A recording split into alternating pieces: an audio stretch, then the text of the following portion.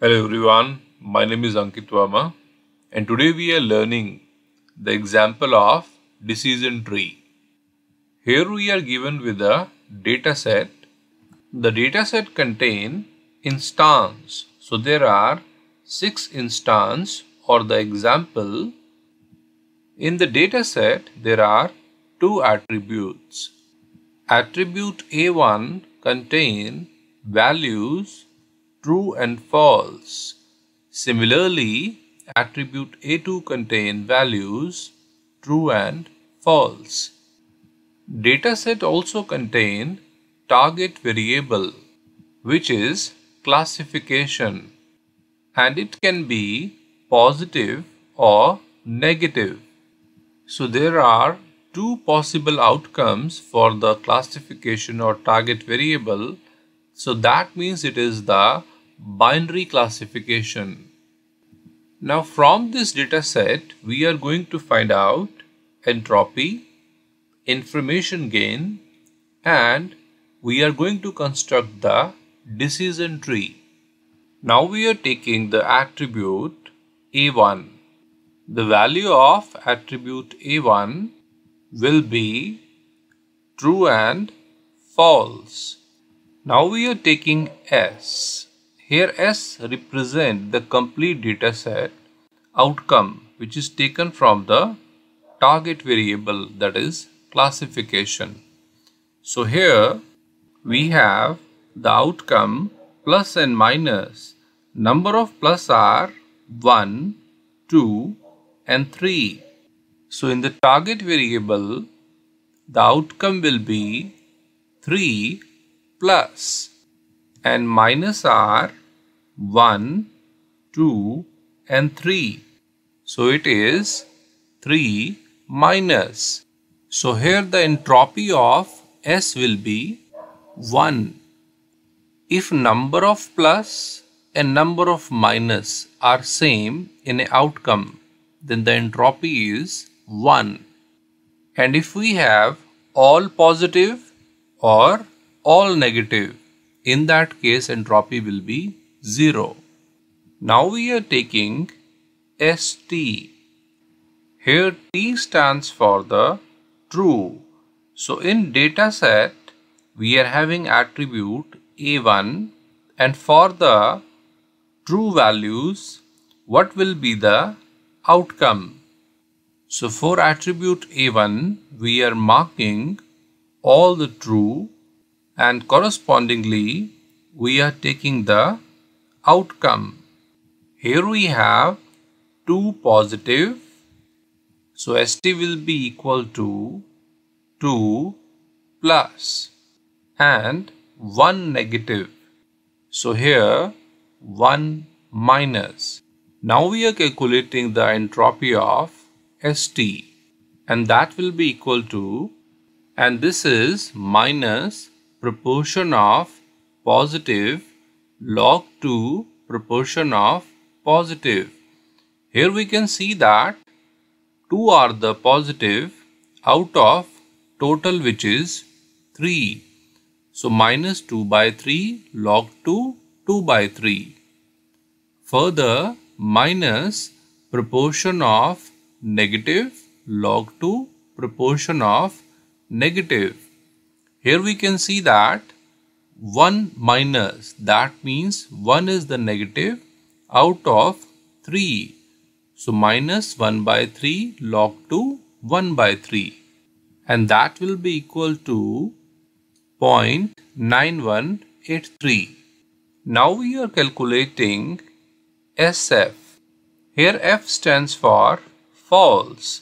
That means in attribute A1 for the false what are the probable outcome.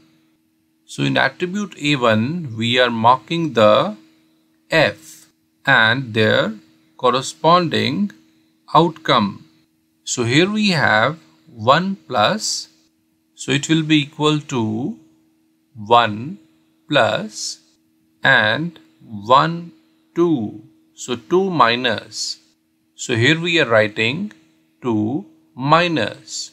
Now we are calculating the entropy of SF. and this is minus positive proportion log to positive proportion.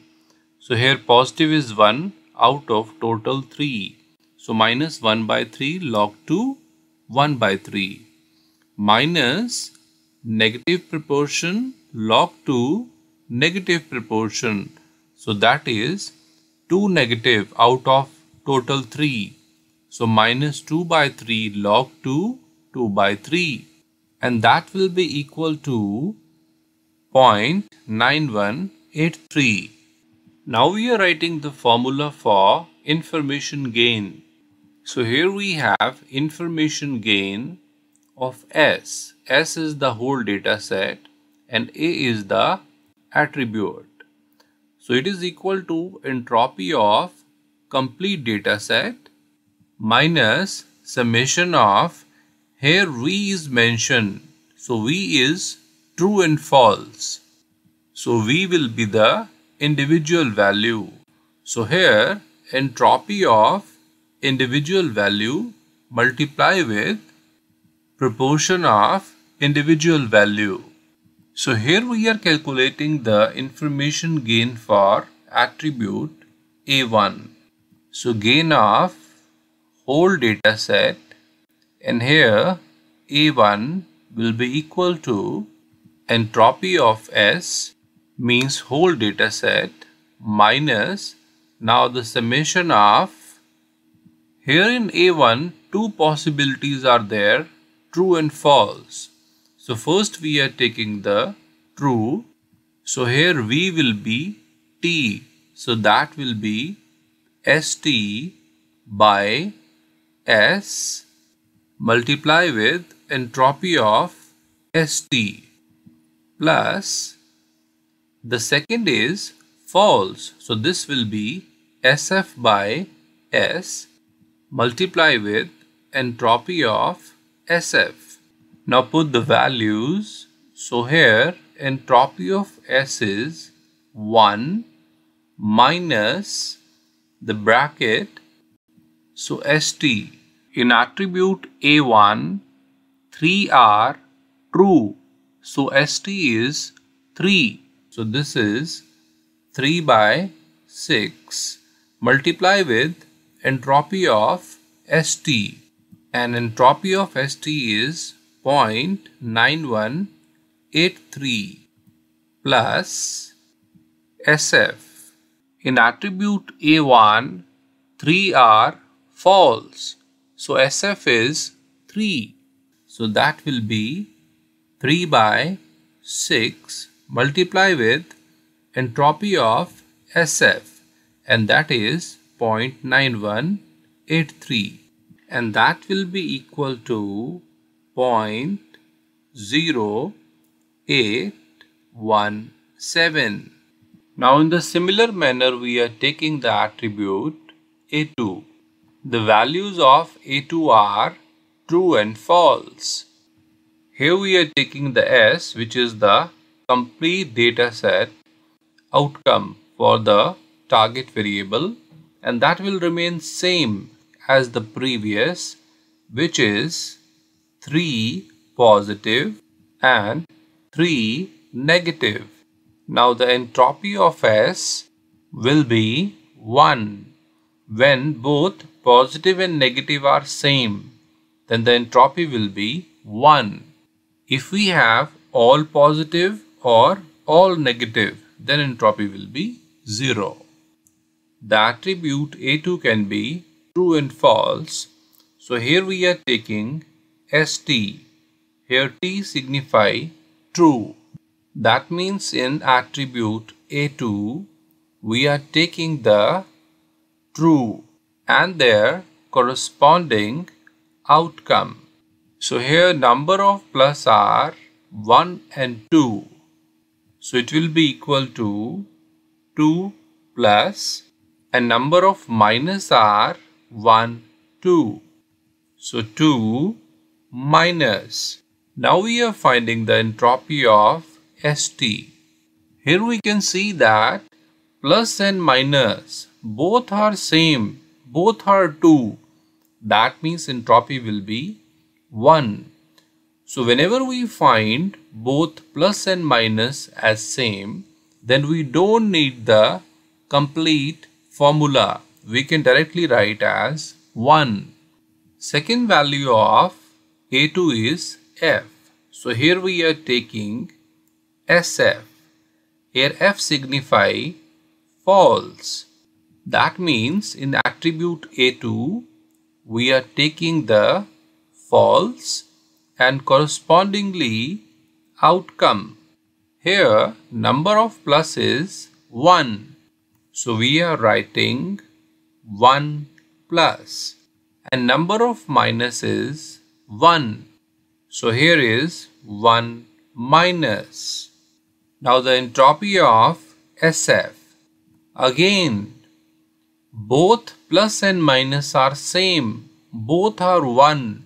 So the entropy will be 1. We don't need the complete formula to calculate. Directly we can write 1. Now we are calculating the information gain for A2 using the formula of information gain. So here the gain of S means whole data set with the attribute a2 will be equal to entropy of whole data set minus summation. So here we are taking a bracket. In attribute A2, two possibility are there which is true and false. So first we are taking for the true that will be ST by S and entropy of ST plus SF divided by S and entropy of SF. Now we are putting the values so that will be equal to entropy of complete data set which is taken as 1 minus in the bracket ST so true. So here in attribute A2, number of true are 1, 2, 3 and 4. So ST is 4 divided by total and the total are 6. So 4 by 6. Multiply with the entropy of ST and the entropy of ST is 1 plus SF. F means false. So here in attribute A2, the false are 1 and 2. So SF is 2 divided by total and the total is 6. So 2 by 6 multiply with entropy of SF and that is 1 and this will be equal to 0. So here for the attribute A1 we have calculated the entropy of S, entropy of ST and entropy of SF with the information gain for A1 and this is 0.0817 Similarly for attribute A2 we have calculated entropy of S, entropy of ST, entropy of SF and the information gain for A2 which is 0. Now we are going to construct the decision tree. So there are two attributes A1 and A2 out of which one will be the root of tree. Here, the attribute which will be having more value of information gain will be the root. Here we can see that the information gain for A2 is 0 and information gain for A1 is 0.0817. This is large than 0. So here attribute A1 is having large or greater value for information gain. So it will be the root of decision tree. So this attribute A1 is taken as the root. And this A1 can be true or false. So there are two possibility. One is true and second is false. Now for the true, we are highlighting all the true and correspondingly we are having the instance 1, 2 and 3. So on the true side we are having 1, 2 and 3 and on the false side so here we are highlighting the false and corresponding instance which are 4, 5 and 6. So here on the false side we are mentioning 4, 5 and 6. Now just observe the true side which is instance 1, 2 and 3. And here for the instance 1, 2 and 3 we have the possible outcome which are 2 plus and 1 minus all three instances don't have the same outcome. That is the combination of plus and minus. So it is not allowed. We need to take the help of remaining attribute. And here the remaining attribute is A2. So here we are mentioning the A2. In the A2 we have two possibility which is true and false. So here we are taking the two branches, one for the true and second for the false. So out of 1, 2 and 3 instance at true side in A2 we are having 1 and 2. So here we are mentioning 1 and 2 at true side and the third instance 3 is having the false for A2. So 3 will be coming to the false side. Now here we can observe these two true which are 1 and 2 these both are positive so here 1 and 2 are positive. So here we can write positive. And this 3, the 3 instance in A2 is having the outcome which is negative. So here on the false side we can write the negative. So here the left side of decision tree is constructed. Now we are going towards the right hand side. On the right side we are having the instance 4, 5 and 6.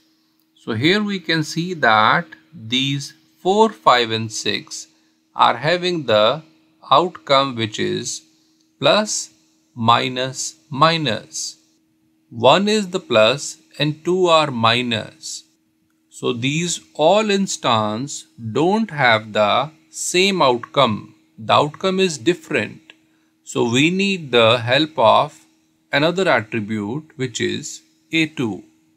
So here we are taking the attribute A2.